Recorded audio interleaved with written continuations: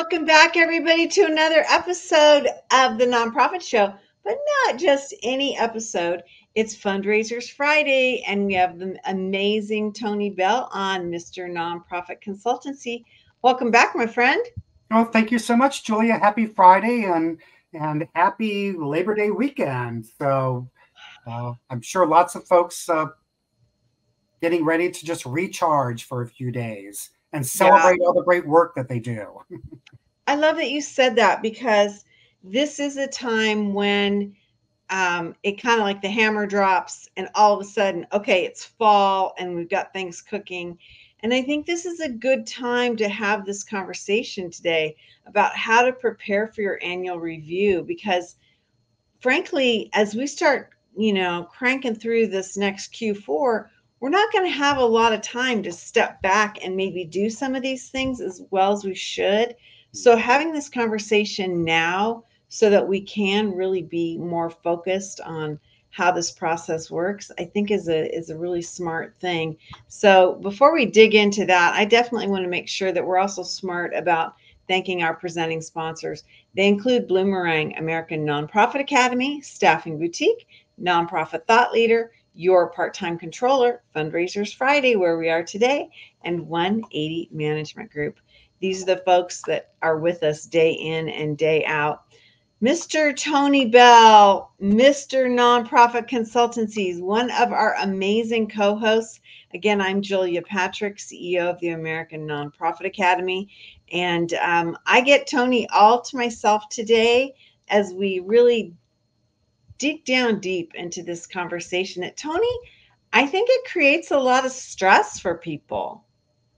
Oh, this topic around annual performance reviews and and, and such. Yes, I, I think so too. And and so you you set us up perfectly around you know the importance of just thinking about it and and preparing for for that conversation. Mm-hmm. Uh, and but I was reflecting, Julia, on on our Fridays. And I always think of this time as like an early happy hour. like the time with you and, and these topics are like an, an early happy hour. So uh, so I always I always look forward to it. But uh, but yeah, I love people. I love celebrating the work of, mm-hmm. of folks. And so this is a, a really uh, a really important topic for me and something that I'm really super passionate about. Well, you know, I know that you over the trajectory of your career, you've given you you've been on the receiving side, but you've also been on the giving side. And so I love that you come to this with understanding both sides of the desk. And I mm-hmm. think it's it's a really an important thing to to kind of frame out because not only are um, professional fundraisers held to these these standards of just did you get the check or not, but I think what you're going to share with us today is how we can really express and educate even our teams as to what is involved. Mm-hmm. It's not just one number on a spreadsheet that it, it it's multidimensional. And so um, I want to start off and ask you this. I mentioned this in the green room, and you're like, well, if you don't have this, then you don't have a review. And it's review goals and objectives. And what are the the performance metrics? And you could say the key performance metrics or all of them but talk to us about this because this is kind of the foundation of it all, right? Yeah, without a doubt. And and and like you said, when we were chatting about this in the green room, our response was if you don't have clear goals and objectives, you can't have a robust or meaningful conversation around any type of, of annual performance review. Uh, so it really all starts there. And and then I even reflected back on a few shows ago where we talked about the average tenure for a fundraising professional within their organization. And and I I'm going to say that when you have a process in place where you recognize and reward individuals for their performance or even have candid conversations around where they need to improve, you are more likely to retain that talent uh, in the organization. Uh, but again, we, you need to start with clear goals and expectations uh, before you can have a meaningful conversation or even meaningful process around any type of annual performance review. Yeah, and I've got to say, I kind of feel like although this is foundational and and you know you could say this is a no-brainer, I got to ask the question. I feel like a lot of organizations they don't really even have this to that to the to the extent that they have a meaningful relationship with their staff member, staff and team as well as a path for for grading everybody. Yeah, and that's true. Yeah, I think it is true, and and and I think both of us try to be very mindful in these conversations week after week that our audience represents organizations of all sizes and resources. Yeah. Uh, so for some organizations, uh, I would say yes, there is an expectation that you would have this in place. For other organizations, it, it is a matter of bandwidth and and resources. Uh, but what I will say is that again, when you invest in these kind of foundational best practices for running any business, whether it's nonprofit or for profit, you will mm-hmm. see a return on that effort, a return on that investment of time, and making sure that these processes are in place. But even the larger organizations, Julia, that typically tend to have these processes in place, they're only as good as the folks that facilitate the process and only as good as the quality of the communication around the process and what employees can expect um, mm-hmm. when they're preparing themselves for their annual appraisal.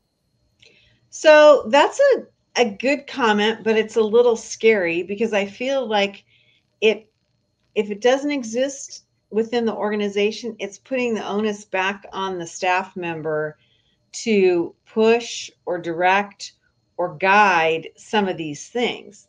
And, you know, there are a lot of organizations in the nonprofit sector that they don't have their own HR department. They're lucky if they even have like an outside contractor.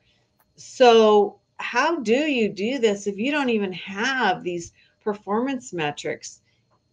Do you, is it wise to like come ahead with them yourself and say, this is what we, what I want to be looking at? I mean, how does that work? Yeah, no, I, I think absolutely. And, and, okay. and part of the value of, of professional development within the space is empowering individuals, right, in the work that they do. Mm-hmm. And a lot of that empowerment also means advocacy for you mm-hmm. and and what you're doing and and often for the organizations that that you're supporting so advocate for the process it doesn't have to be complex so that's the thing okay. uh, because really an annual uh, performance review is a conversation. Uh, there is a document where, you know, so that there's a pra- paper trail, pardon me, and you're tracking kind of the mm-hmm. conversation through this formal document, but it's mm-hmm. a conversation. So it doesn't have to be complex. Uh, mm-hmm. So, yes, if, if, it, if it doesn't exist in your small or medium sized organization, uh, I would encourage you to advocate for the process to exist. And that means showing up with examples of performance reviews, examples of timelines, mm-hmm. uh, not just showing up and saying, This is what I want, but showing up and saying, This is what I want. Here's the value of that. And here are ways that we can do it. I love that. I think that's brilliant.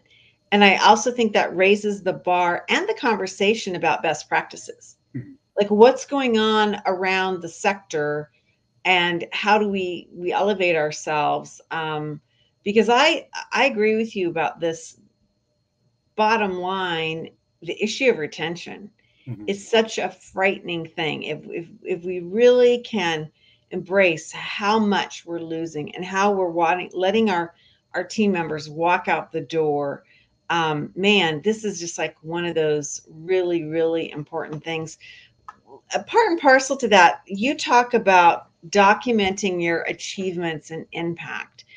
Um, this is kind of a fascinating thing because I always feel like in the past it's been like you show up to the conference room or the supervisor's office, close the door, and then you just sit there and you wait for them to say something or prevent, present stuff. And I think this goes back to what you just said seconds ago advocate for yourself. Talk to us about this and what that kind of will look like. Yeah, it, it's funny because when you mentioned that, I, I I went back to you know my own experience in times where you did you went you sat in like a boardroom and there were just the two of you, and you, then you were handed copies of the performance review, and uh, and how I got even more nervous if there was a box of tissues on the table, right? So, so all those things come into play when you walk into a performance review in that, yeah. in that kind of scenario. But in today's yeah. environment, they're happening, you know, via Zoom. You know, where where one person is totally on the other side of the country uh, right. and are, are, performing, you know, are, are presenting this this performance uh, evaluation. So documenting the work that you do throughout the year is really important. And a lot of the reviews that that I have participated in, even going way back to my days at American Express, which was really my first encounter in this process where performance reviews started with you, where you do a self evaluation of the work that you've done over the year. You self evaluate your ratings, and then that is submitted to your immediate supervisor.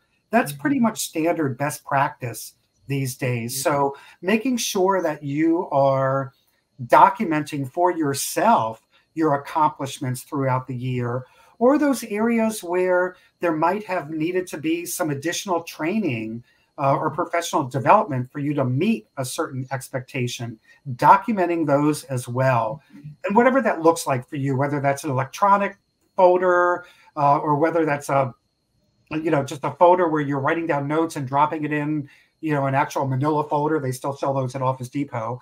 Um, you know, you might be you might be using that process, but document your achievements throughout the year because we've mm-hmm. said many times that the, that big gift it took work and there were mm-hmm. many successes along the way to get you there. So you want to make sure you're documenting all the successes along the way. Uh, mm-hmm. and I think that's also important when we talk about the self evaluation many times, you know, did you meet goal? Okay, I was at a, I was at 100% of goal or 125% of goal. Mm-hmm. And this is why. So make sure you take the time to explain in your review how you got there or how or or why you didn't get there and how you think things yeah. that might have been different could have put you there. You know, I think that's a fascinating approach, Tony, because otherwise it's punitive punitive if you didn't make the goal, right? And then it, it, the other on the other side of it, if you made the goal or you exceeded the goal, it's just like, wow, okay, you were lucky. Versus, no, I worked hard, I was strategic. This is how others on the team can learn. This is how our industry can learn. This is what I'm learning from our industry it just seems to me like it's a lot more um, intelligent to be thinking this way for the for the health of, of the organization right not just that individual person's review oh yeah well i think you said something really important there and when you said that folks may respond to your success as just being lucky yeah and that can yeah. happen sometimes depending on you know who's facilitating the annual review. If you're an executive director, it may be the board chair that is yeah. facilitating this annual review. Um, and without a clear understanding of the work involved to get mm-hmm. to the ask, to get to the confirmation of the investment, uh, it can be easy for someone to say, well, that large gift was a referral from a board member. Right. To really kind of devalue, lack of a better term, and that sounds dramatic, but the work that's done once the referral is made uh, to bring that folk, that you know, that individual on board. Well, and I think I love that you said that because I hadn't really thought of it exactly that way, but it kind of dovetails to the concept of, you know, relationship building and time spent and the journey of a donor's gift. I mean, that could have been solicited and developed brought in by the previous you know fundraiser and then carried across the finish line by the one that's being reviewed and conversely that person that does this work could you know leave or somebody else gets credited for that um, for that gift mm-hmm. it's it's brutal i mean and i think that's one of the things we talked about portfolio management recently but you know um, how you you don't always get credit, if you will, or get noticed, or what doc, it's not always documented your work that your gift that you brought in. It gets sometimes, you know, assigned to somebody else. Yeah, well, I think that, you know, that's why conversations around retention and mm-hmm. legacy donors uh, is also important when we look at the the entire performance of a mm-hmm. fundraising professional. I mean, it, it takes effort to retain a donor. Uh, so, regardless of whether you're kind of just absorbing that as someone that's part of your portfolio now and someone else brought them in, it doesn't really matter. Retention is super important uh, when it you know when it comes to to fundraising. So we definitely you know need to celebrate and and make sure that we're valuing that as well. Right, and tracking it for these reviews. I think it's just such an interesting conversation. And also, before we go on to the next thing, I think this speaks volumes, Tony, about how even within our own organizations, people don't know what we do. They don't know what a fundraiser does. I said we. I am not a fundraiser. I've I've been a community fundraiser, and you know, but um, again, there's that. Oh, they just go out to lunch and have cocktails or go to parties and squeeze rich people for money. Right? Well, I mean, it's a horrible, horrible attitude and mindset but it's a false narrative that I think really exists across this country. I really do, Tony. And I don't know if you agree or not, but you know, I, I mean, I think it still exists in certain markets. Mm-hmm. Uh, I think that the demographic of donors has changed yeah. uh, quite a bit, so that it's not that what, what you're explaining, which which was very prevalent. you know, uh, I don't think it is as much as as it was in certain markets. Definitely it, yeah. it, it still you know it, it still exists that way. Uh, but but but you know the the landscape has has changed dramatically in in mm-hmm. terms of who's supporting organizations and and their motivations. Yeah. Well I, maybe i'm revealing what it's like in my community. Okay another part of preparing for this you know all important review. Identify challenges and offer solutions Wow. Okay, this is not something that I thought would be part of our conversation. Well, I, I think we're in such a great place today, uh, not only in the nonprofit sector, but I think in many sectors when it comes to mental health, I mean, mental well being, when it comes to professional development. Uh, these are conversations that historically someone wouldn't have out of fear that they would be perceived as lacking in some way. Yeah. Uh, I can't, you know, oh, well, they need training. Well, they can't do the job. Uh, right. But I think that that has shifted in, in the healthiest of ways uh, in, in today's environment. And I think most healthy annual appraisal processes allow for this type of uh, transparency and this type of self evaluation uh, mm-hmm. where you know in in your own self review you can say you know looking towards the next fiscal year i hope to be able to improve my skills in these four areas. And this is how i see that happening. And then identifying and you know being part of of this membership right? It might require a membership. It might require a six or seven week course for a certification, but really mm-hmm. kind of identifying that and okay. how it will help you excel in the work that you do, ultimately furthering the mission of the organization. Right. I, I like that because I feel too, Tony, that so I, I hear this so often that um, from folks that are desperate for um, education and professional development, and they feel like they're organization doesn't support them or, or doesn't see that that's an investment. And I always think it's tied to the fact that we are losing our staff members too rapidly. And so that the executive team looks around and says, well, if I train you, you're just going to get a better job somewhere else. Right. It's a, it's a really an awful sense of, of what's going on. Mm-hmm. Um, and I don't think we, I don't think it's spoken.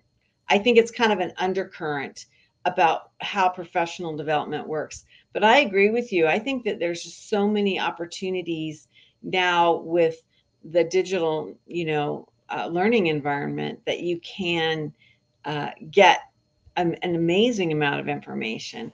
And I think things are opening up. I know you just went on the board of your AFP mm-hmm. um, organization uh, where you live in Florida. Things like that. I mean, don't you feel like that is part of that ecosystem and and and, and elevating everybody? With, oh, without a doubt. And I, I think you know, in particular for today's fundraisers Friday, yes, you know, you know, yeah. engaging in in organizations locally like AFP mm-hmm. uh, is, a, is a big part of, of professional yeah. development. So many of them have robust mentorship opportunities. So, depending on where you are in your career, you may need a mentor or you may want to be a mentor. Right. Uh, and you learn so much from being a mentor. You know, I we talk a lot about how it was, how it is, how it might be, right? So, right. Uh, so being a mentor and, and connecting with um, the next generation of, of young leaders really keeps you in tune with with mm-hmm. that kind of vision and and the mm-hmm. thoughts and and priorities that are happening uh, with the folks that are ultimately going to take your mission and and cause to the next level. And I I love that approach uh, for a review to say, you know, that could be one of our goals, and I want to be supported on that. And uh, because I think that elevates the sense of thought leadership within the organization and externally to the community. You know, well, I, I, yeah, yeah, it supports the whole concept of all of us being lifelong learners. Yeah. I mean, when whenever I've I've had a, a review, and and there's that opportunity to talk about where can I be better I mean, there were plenty of things for me to put in there. you know, I mean, there's always something for us to learn uh, yeah. and, and, to elevate. yeah, yeah, I, I agree. I agree. I think that's a that's a humble approach to you know kind of looking at these things. Okay, let's talk about the next thing because this is a little bit more difficult and we don't have a lot of time. But I want to spend the rest of our time talking about this, and that's dealing with feedback and criticism because it's such a frightening thing. I think it's frightening to give criticism and give feedback. Um, and, you know, when you're receiving it, it's really hard to hear it and to process it.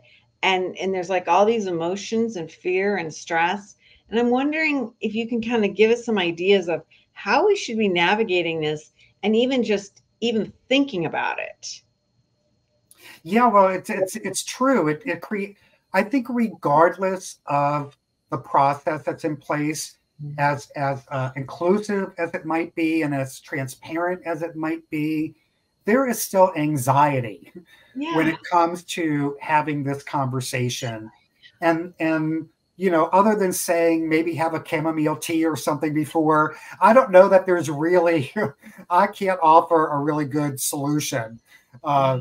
you know, and and I think part of that too is just that so many of us, if not all of us, care so deeply about the work that we do in this space that we really can't show up with anything other than a little bit of anxiety when the work that we're doing to support these great causes is kind of being evaluated. But I mm-hmm. also think that the best processes are those that when we do show up for this conversation for an annual review, there are no surprises because we've had conversations throughout the year. It's either been through monthly reporting or quarterly reporting, one on ones, again, whether those are weekly, monthly, or quarterly with our supervisors. By the time we get to an annual review, we should have a really good understanding of how we're performing and how our performance and contributions are being perceived um, or tracked uh, or valued you know by uh, by our direct supervisor. So again feedback and criticism we're, we're going to have anxiety over it regardless of the process. But i think the best processes are those that are in place where when we are coming together to have this conversation, there are no surprises.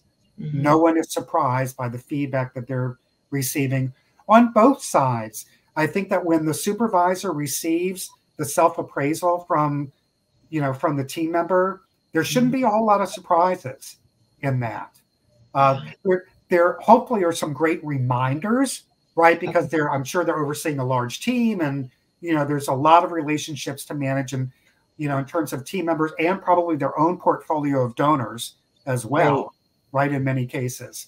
Right. Uh, so the self appraisal is a great way to remind your immediate supervisor of the work that you've done, but they shouldn't be too surprised by a lot of what they see in there.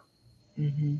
You know, it's so interesting. This conversation has not gone the way I thought it would uh, with you. And what I'm hearing as we wrap up, that it really, when we talk about preparing for this, it really is on us, right? It's, it's, we're going to be a lot more comfortable, successful, have less, fewer surprises, and be more strategic if we are spending the time up front literally preparing the, these documents and making it, um, gosh, uh, easier for that process to occur. Well, well, you know, and again, some, you know, don't don't be afraid to get your own flowers, right? So get your own flowers and get yourself ready for that. Uh, yeah. And a lot of performance appraisal processes are electronic and allow you. The one that I most recently went through allowed me to even upload documents. So oh, posts wow. from social media or letters from clients or letters from team members or you know so it allowed me to kind of upload supporting documentation above and beyond my content to mm-hmm. support how i viewed uh, and perceived my performance and value to the organization so uh, mm-hmm. so again documenting that stuff throughout the year, screenshotting, you know, wh- whatever that mm-hmm. that you're most comfortable with. Uh, but just implementing that process so throughout the year, you can just, you know, drop information in there so it's easier for you come the end of the year to gather all of that. Well, and I think too, sometimes we forget what the journey's been and we just tend to focus on that last phone call at the end of the day that maybe didn't go the way we wanted right? It's like that negative feedback just tends to like loop, loop, loop in our head. And then before we know it, we're not feeling at all successful. And that's not the way to go into um, a review unless you're going to spend more time saying, This is where I'm struggling, but this is how I can get help. This is where I can get support. Um, mm-hmm. You mentioned that, you know, identifying the challenges, but offering solutions and saying, mm-hmm. This is what we need to activate I think is a brilliant way to lead anyway, right? I mean, mm-hmm. it's it's going to protect you f- from the end. Um, well, once again, you've just given me so much to think about, and I'm I'm so amazed at what you're able to bring to the table, um, and grateful that you're on our team and that you take this time to invest with fundraisers um, on Fundraisers Friday on the Nonprofit Show. It's really amazing. I hope for those of you going into this process that you're able to really think about this and, and maybe be more successful in, in your own developing your own strategy and, and really navigating this. Our executive producer, Kevin Pace, reminded me yesterday that um, if you are not sure, like maybe you missed part of this or you want to share it, depending on the platform, that um, you come in, on and join us on, you know, these shows get re-looped. So if you stay on whatever platform, if you're in uh, LinkedIn or X or maybe even YouTube, um, this show will re-loop and then you can see what you might have missed in the very beginning. So um, I just wanted to bring that up as well as our archive. You know, we hope that you share these episodes and uh, spread the word because they really are great, great assets and resources to learn about. Another great asset is really our presenting sponsorship board. Um, they include Bloomerang, American Nonprofit Academy, Staffing Boutique, Nonprofit Thought Leader, Your Part Time Controller, Fundraisers Friday, our new show, and 180 Management Group it's really an exciting group of folks that support us and are with us. And we're going to be debuting some new sponsors um, in the next couple of months as well. So you'll get to learn more about them as well. Hey, my friend, I hope you really get to enjoy this holiday. You have labored through the summer, getting ready for the fall. We all could use just a few hours of, of a respite And so I hope you get to achieve that. You as well. Thank you again for the opportunity. I, I look forward to our happy hour every Friday. Well, I know you're in the East, so you're winding down. I'm in the West, so I'm just starting up. So I'm like, oh man, I wish I could wind down. You know what? Five o'clock somewhere. So. okay, I'm going to put that on my calendar so that I know it's five o'clock in the East. And so it's quitting time. Oh my gosh. Well, hey, everybody, we like to end every episode of the Nonprofit Show with this mantra. It's pretty simple. It goes like this just stay well so you can do well. Thanks, everyone.